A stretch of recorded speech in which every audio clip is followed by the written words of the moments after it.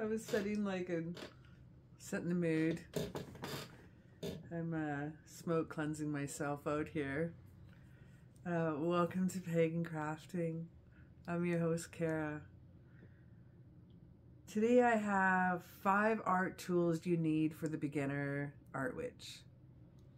Super fun, super easy. Some of them don't cost anything at all. Some of them you don't even need. Actually, all of these you don't even need.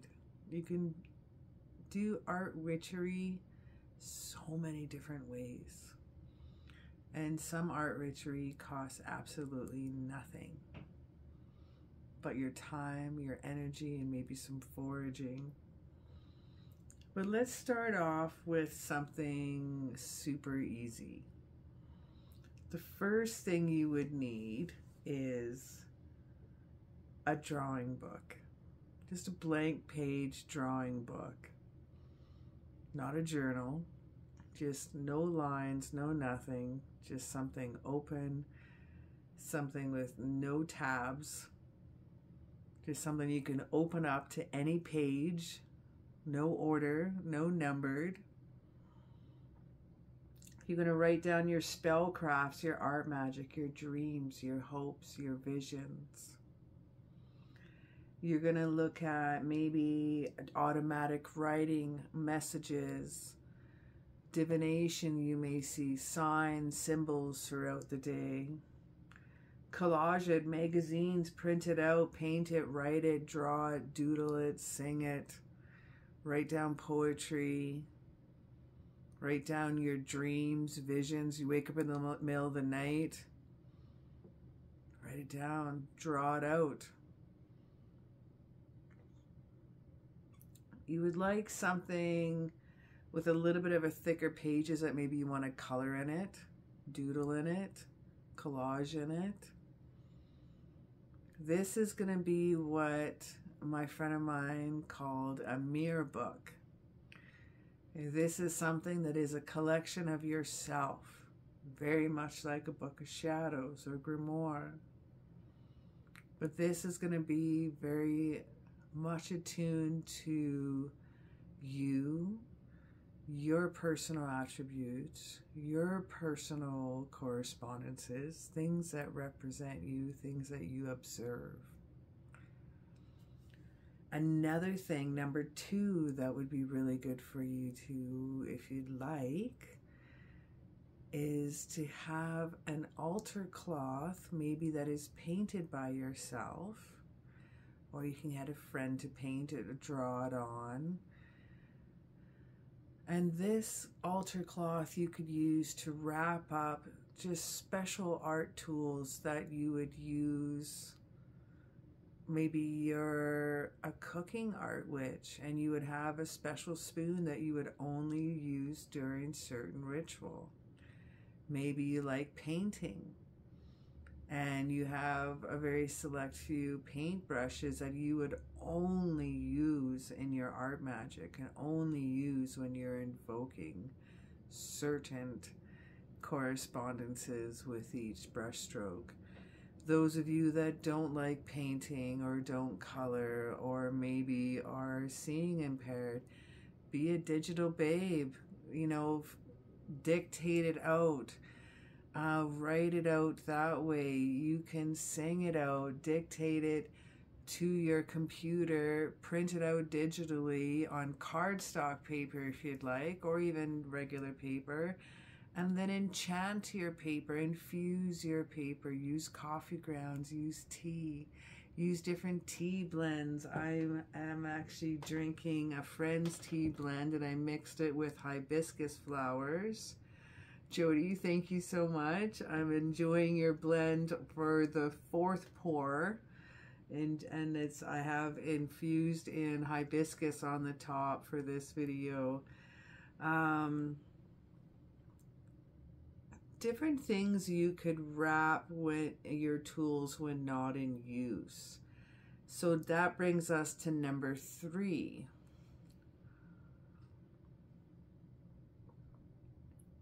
The water that you use. Is it moon water? Is it sun water? Is it charged up water? Is it charged up by different elements, different herbs, different flowers, different crystals? Is it rainwater? Is it river water? Is it ocean water? Is it fresh water from the mountains? Now, different special art tools, maybe you might have a quill, a writing wand. You may have special paint brushes, or maybe a special smudge fe feather with a sigil painted on it. You may have a smudge stick, a palo santo, something maybe, again, incorporate the elements into it. I've just named off air, earth, uh, air again, fire. Now, you may have a sound cleansing tool. You may not like to use smoke cleansing, or maybe you don't. Why would you have to use smoke cleansing each time? You may use sound cleansing, so whichever you'd like to use for that, you can play some binary beats, you can drum, you can hum, you can play some singing bowls. I use singing bowls or a tuning fork. Now, for water, we talked about different water, but what about what you put it in? Maybe it might be your favorite chalice or a cauldron. Maybe it's a leaf that you chose that you found dew and you collected dew in the morning and you're dipping your paintbrush in the dew. There's so many different possibilities for your special art tools. Are you a sculptor? Are you a jeweler? Do you like doing wire wrapping? Anything you can think of. Are you a stitching witch? Are you a cooking witch? Are you a musician? Are you a poet? Are you a writer? Do you have a green thumb? And maybe that is your gift. What can you do to incorporate the greenery into your art witchery? Maybe you might harvest some leaves, do some leaf rubbing like we did when we were in elementary school. Do a leaf rubbing and then write about your find. Look up the correspondences when you get home. Now we've talked about a drawing book, the altar cloth to wrap your special tools in, special art tools that you could use. Uh, you can create a wand and put a quill at the end of it and have it charged up. Remember, I like using copper wire with a quartz crystal at the end. Charge up your writing stick. Maybe you can make a pencil out of that's charged up with different vinery and different crystals and glue a bunch of crystals onto it and just have some fun with it. Charge it up any way you'd like. Now, a fourth item is cleansing uh, item and smoke by smoke and sound.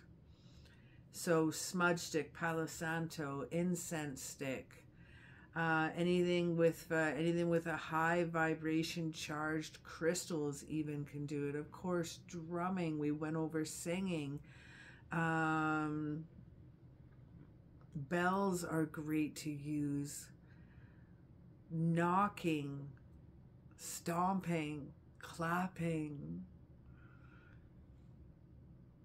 Your neighbors are going to think you're crazy. Eh, they won't bug you. Just mow the lawn with a vacuum now and again, and they won't come bug you.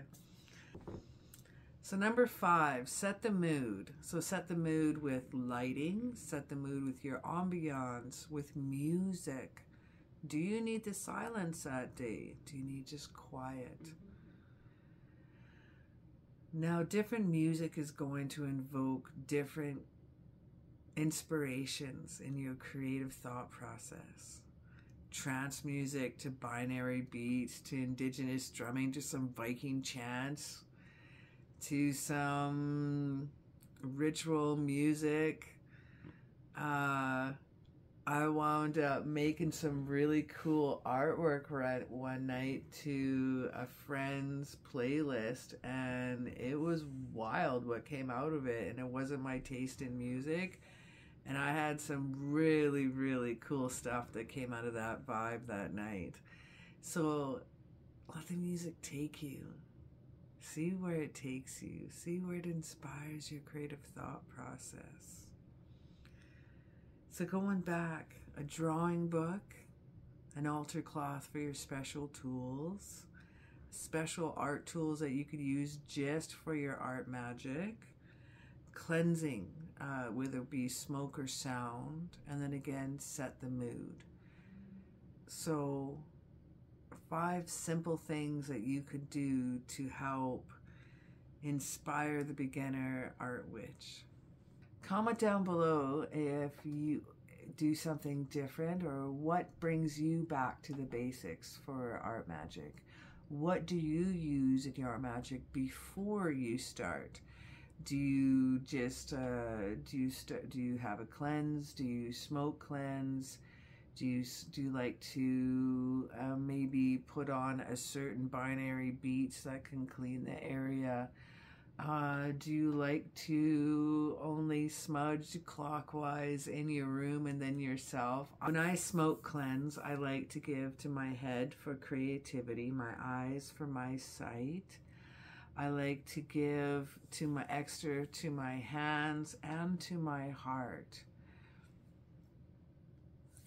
Now, I also give a smoke cleanse for the creativity in my hands, and I will concentrate the smoke cleanse also over the tools or paint that I'm using or clay, whether it be moss or bark or trees, uh, pieces of pine cones, anything you're using in your craft, glue, why not? Give them all just a fresh little, just like, okay, this is your purpose today. We're not just crafting, we're not just making uh, let's say we're not just making a wreath for the door, we're making a protection wreath for the door. You know, put that extra little, make it witchy, make it cool, make it fun, make it a, make it witchy when you're crafting. Just what, how can you spin your crafts a little bit and power them up, activate them, charge them, just like a talisman. Well, thank you so very much for chilling out with me today. And as always, it is a pleasure hanging out with you and have yourself an absolutely magical day.